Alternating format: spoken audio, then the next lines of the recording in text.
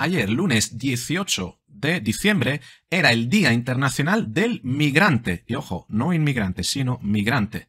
Y al respecto ha habido toda una serie de declaraciones por parte de unos defensores del movimiento de migración y otros que están en contra de este movimiento.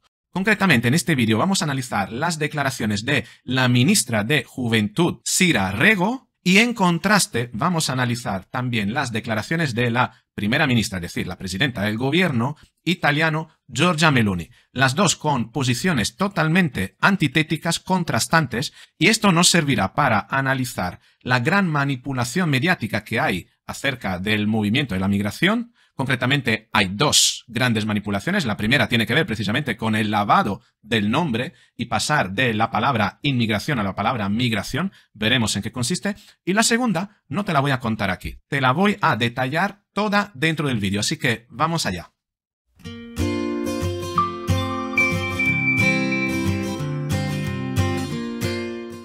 Bueno, antes que todo, vamos a la primera, la primera gran manipulación y es el lavado de cara del fenómeno de la inmigración, hablando más bien de la palabra migrante en sustitución de la palabra inmigrante.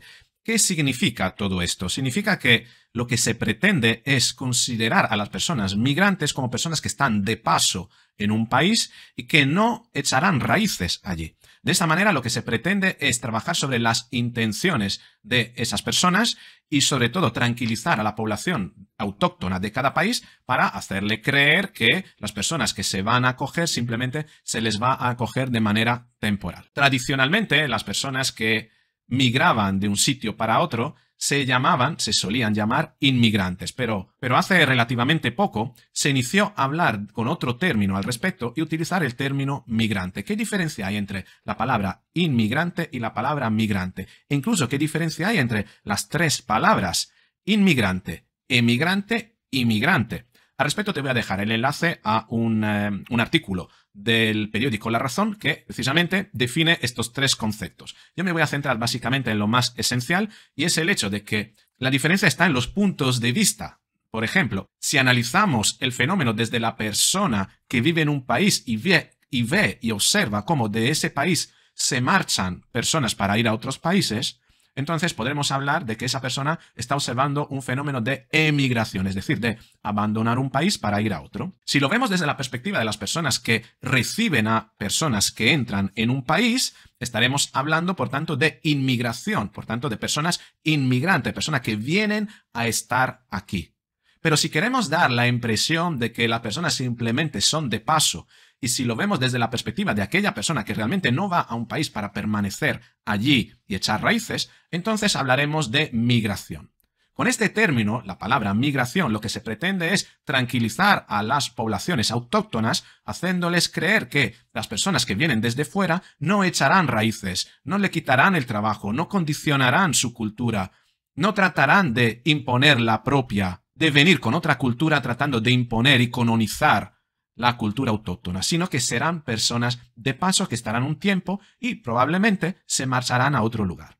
Lo que se pretende es suavizar el fenómeno de la inmigración con el fin de que haya menos resistencia por parte de las personas de la población autóctona. Desde la agenda de colorines, la agenda 2030, que ha prácticamente colonizado los 365 días del año, poniendo en cada día del año una determinada recurrencia relacionada con los Objetivos de Desarrollo Sostenible, los famosos ODS, el día 18 de diciembre se ha establecido como el Día de la Persona Migrante. Al igual que está el Día de la Mujer Trabajadora, el Día de la Salud Mental, el Día de la Depresión, el Día en contra de la Violencia de Género, en fin, el año está prácticamente repartido y colonizado con Día de. Tanto es así que existe una aplicación que para saber qué día es hoy te permite obtener información sobre todos los colectivos que reivindican de manera identitaria ese día como un día en el que se pretende hacer alarde de una determinada característica, señalar a un determinado colectivo desfavorecido, sensibilizar sobre determinadas enfermedades, etcétera, etcétera, etcétera. De hecho, si vamos a la web y te la enseño, la web diainternacionalde.com, diainternacionalde.com, te lo voy a dejar también en la caja de descripción, puedes ver hoy qué día es, qué es lo que se celebra. Por ejemplo, hoy es 20 de diciembre y se celebra el Día Internacional de la Solidaridad Humana, el Día Mundial del Escepticismo. Ah, bueno, eso está bien, este puede ser mi día. El Día Mundial de la Sangría. Ah, mira. El Día Internacional de la Camisa Arrugada. Hoy puedes ir a trabajar con la camisa arrugada. Si te la ha planchado, ha perdido el tiempo. Bien.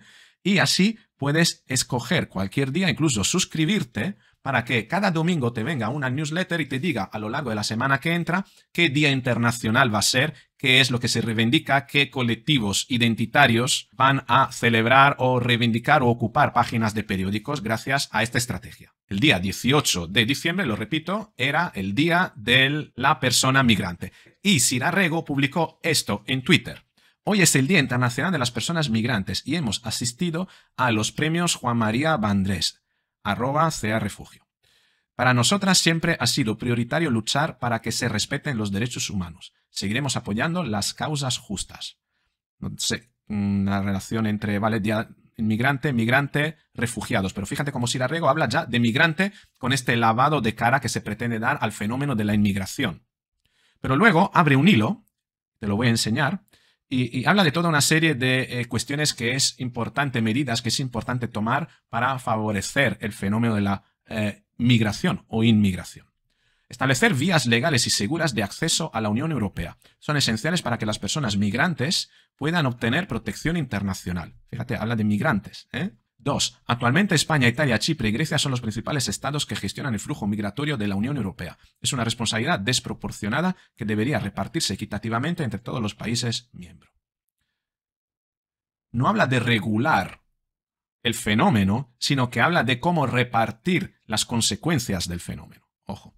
Tercero, el derecho internacional obliga a garantizar el derecho al asilo. Un país no puede rechazar pagando la acogida de las personas migrantes. Debe existir un compromiso obligatorio de solidaridad entre todos los miembros de la Unión Europea. Siguiente. Cuarto, eliminar los procedimientos de fronteras que favorecen las devoluciones de personas.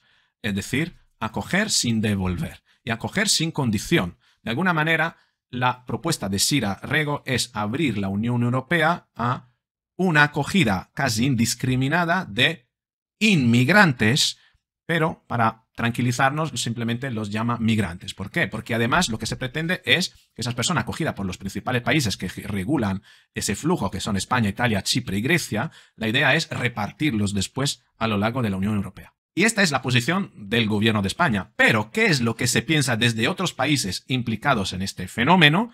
Que pero tienen otra filosofía, otro, otra manera de aproximarse al fenómeno de la inmigración. Nos lo va a decir la eh, primera ministra, es decir, la presidenta del gobierno de Italia, Giorgia Meloni, que escribió precisamente esto el lunes.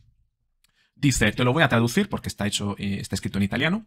Leo de las declaraciones de Ellis Lane que en el curso de mi, de mi intervención en el acto de Atreyu, habría, abre comillas, levantado la voz para fomentar a las personas en posicionarse en contra de los migrantes que salen en barcazas cayucos, básicamente, ¿vale? Y dice, no sé qué discurso escuchó la líder del Partido Democrático, que es Ellis Lane, es decir, sería la equivalente a un Pedro Sánchez, ¿vale? Partido Democrático de la izquierda italiana. Pero creo que tenga bastante claro que hablar de lucha en contra de los traficantes de seres humanos, de defensa de los límites europeos, de dar una respuesta verdadera, estructural y definitiva a la inmigración clandestina, nada tenga que ver con levantar a la gente en contra de los inmigrantes. Al contrario, consentir que miles de desesperadas personas se encomienden o encomienden sus esperanzas a gente sin escrúpulos que ponen en su riesgo, que ponen a riesgo sus vidas en las barcazas, esto sí que estar en contra de los inmigrantes. Nosotros continuaremos a trabajar para poner fin a la trata de seres humanos y a las muertes en el mar. Fíjate la diferencia de posición entre Sira Rego, izquierda, y Giorgia Meloni, derecha. Aquí no hay nadie en contra de nadie.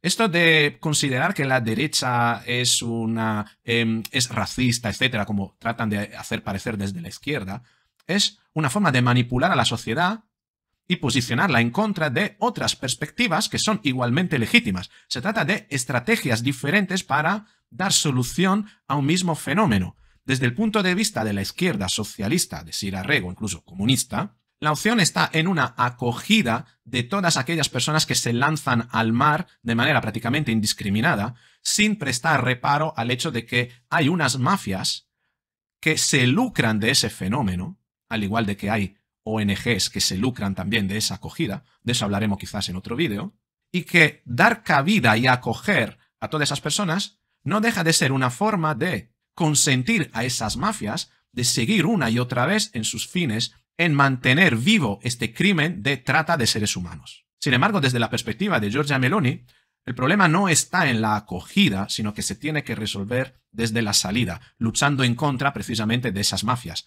Nadie está en contra de los migrantes o inmigrantes, llámalos como quieras, sino que están tratando de aportar una solución diferente. Desde el punto de vista de Giorgia Meloni, no se trata de acoger de manera indiscriminada a los migrantes, porque esto lo único que va a favorecer es que estas mafias proliferen y sigan en sus crímenes, incluso incrementando los flujos. Flujos que además, si se incrementan, generan prácticamente una, un fenómeno de bloqueo y saturación de los confines europeos, tal como está pasando en, eh, en, Canarias, como está pasando en Italia. Al final la población local se encuentra desbordada y no hay manera de poder regular todo esto. De alguna manera, Giorgia Meloni lo que está diciendo es que Europa tiene un límite y ese límite se debe de defender luchando en contra de la trata de los migrantes, porque de no hacerlo lo que se está haciendo es fomentar a esos crímenes, a esos criminales, es fomentar esa criminalidad y por tanto poner en riesgo precisamente la vida de personas que se pretenden proteger. Y esta es la... Y, y aquí venimos a la segunda manipulación. La primera está con el nombre,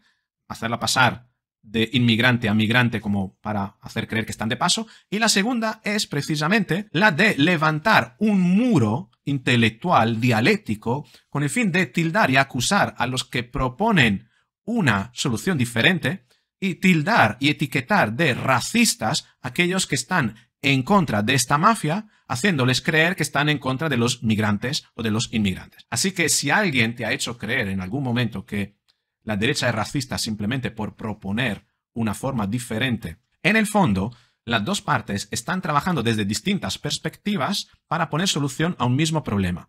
Y que una parte acuse a la otra de ser racista no es más que una manipulación con el fin de censurar otras opciones, otras alternativas que podrían ser igual de válidas o incluso más efectivas.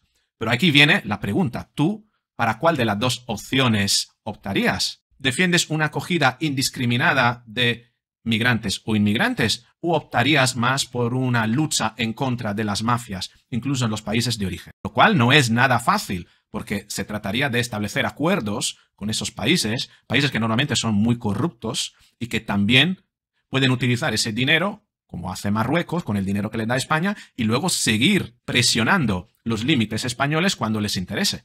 También eso sucede. En fin, el problema es bastante complejo y a problemas complejos las soluciones nunca son sencillas y se pueden resumir en un solo tweet. Así que escríbeme qué es lo que te parece todo esto y cuál es tu posición al respecto. Te espero en los comentarios. Si este vídeo te ha gustado, te invito a que le des a like. Si crees que puede interesar a otras personas, que lo compartas. Si no estás suscrito, suscríbete al canal, suscríbete. Porque bueno, a lo mejor en función de el interés que le pongamos a esta temática, podemos seguirla más en detalle con más vídeos. Con esto es todo, un beso y hasta la próxima.